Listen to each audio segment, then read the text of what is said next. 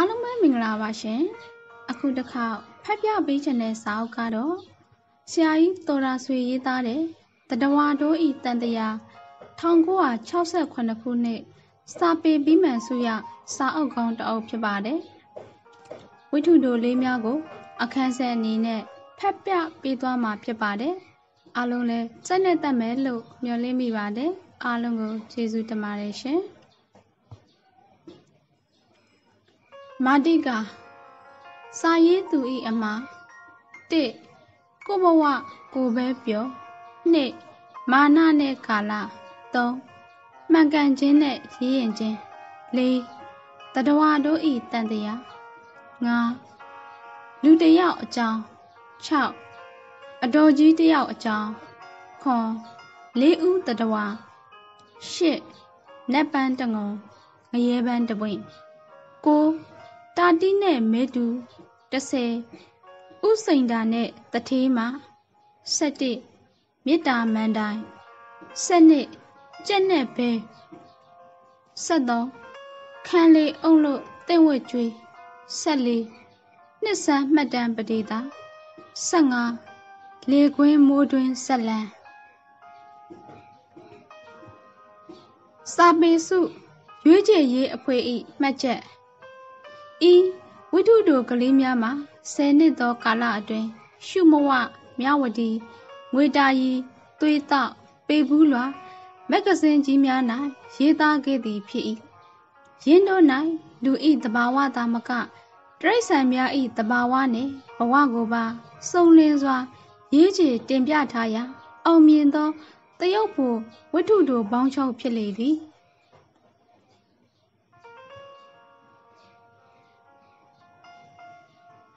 ဘဝကိုပြိုကြသည်တတဝါတို့မြည်သည်ဘဝကို တွေ့တာကြသည်သို့သော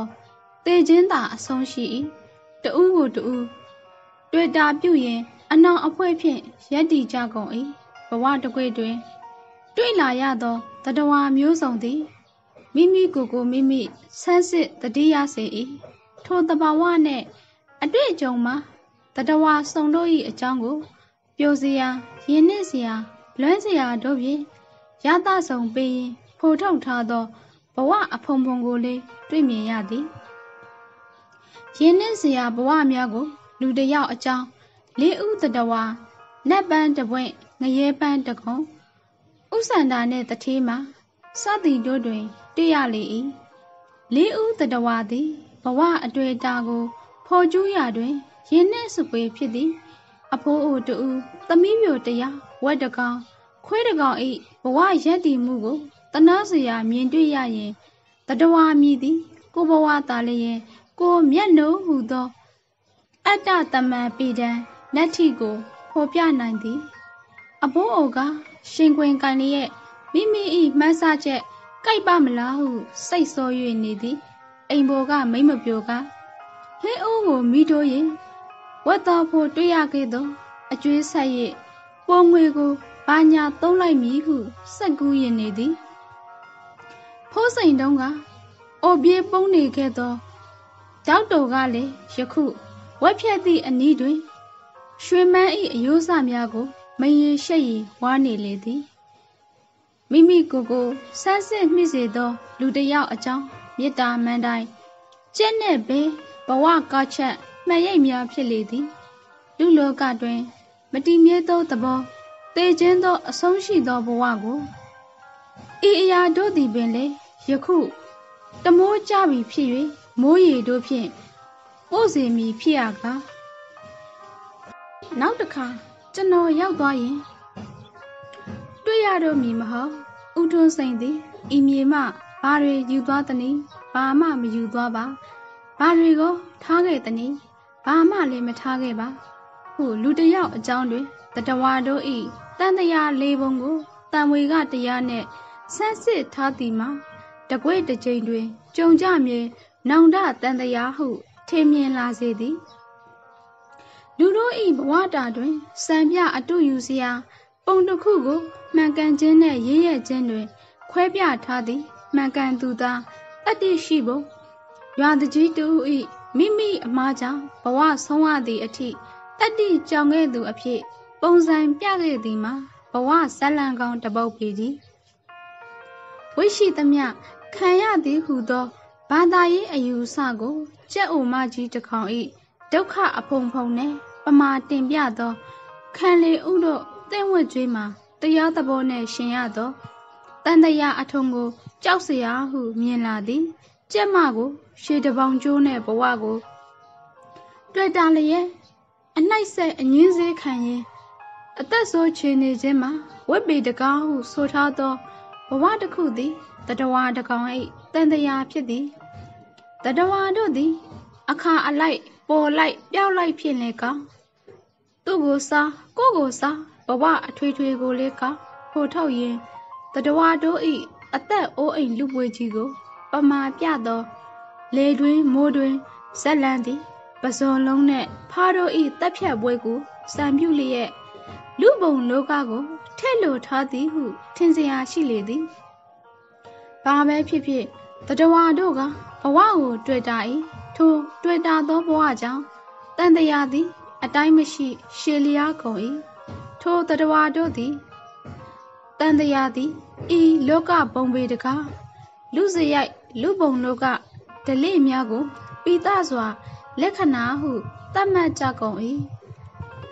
စာသူတီ1983မေလရှုမဝရုပ်စုံမဂ္ဂဇင်းစာရေးသူ၏အမှားကျွန်တော်သည်1948ခုနှစ်ဩဂုတ်လမှစ၍စာပေနေသေးသို့ရောက်ရှိခဲ့ရာယခုအီစာအုပ်သည်1964ခု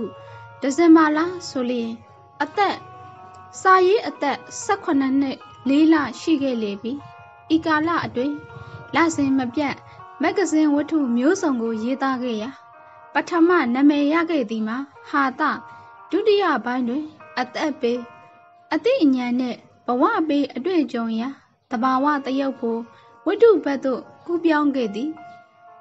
ဤတွင် ကျွန်တော်မှာစာဖက်ပရိသတ်နှမျိုးကိုတွေ့ရသည် ပထမတစ်မျိုးက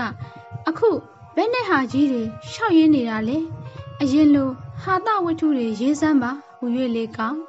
ဒုတိယတစ်မျိုးက ကျမတို့ဟာတစာပေကိုနှစ်သက်တဲ့ခလေးဘဝအရွေကတဖြည်းဖြည်းကြီးရင်လာသလိုအကို့ဆွေစာတွေဟာလေဟာတကနေတဘာဝဘက်ကိုဘဝတယုတ်ဖို့ဘက်ကိုပြောင်းလာပြန်တော့လေရင့်ကျက်တဲ့အတွေ့အခေါ်ခန်းစားချက်ကိုမျက်လို့ရပြန်တယ်တဲ့ ပြိတ္တကိုလည်းတွေ့ရပြန်တယ်ထို့အပြင်ယခင်ကကျွန်တော်ဤပြောင်းရှိုးချိုးဟာတဝိထုမျိုးကို မနှစ်သက်ကဲသူကလည်းယခုလိုဘဝတယုတ်ဖို့ဝိထုတွေကို တွေ့ရလေတော့တချို့ကဟာတော်ရာဆွေဒါမျိုးလေးရေးတတ်ပါလားကွနောက်အဲ့ဒါမျိုးတွေကြီးရေးတော့ကွာဒါမှစာပေးဟု အပိအမြောက်ပြုကြလေသည်ကျေးဇူးတင်ပါသည် တို့ဖြင့်ကျွန်တော်သည် နောက်ပိုင်းဟာသထက်ဘဝတယုတ်ဖို့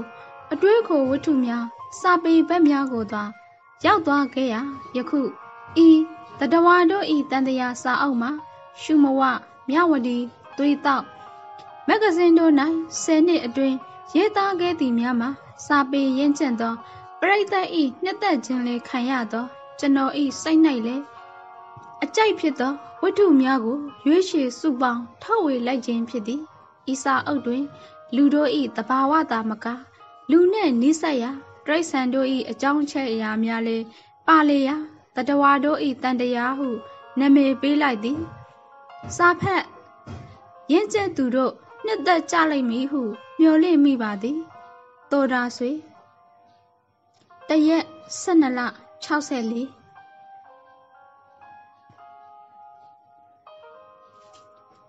ဝိထုတို့ကလေးများကိုအပိုင်းဆက်အနေနဲ့ဖက်ပြပေးသွားမှာမို့စောင့်မျိုးအားပေးဖို့အလုံးကိုဖိတ်ခေါ်ပါတယ်ရှင်။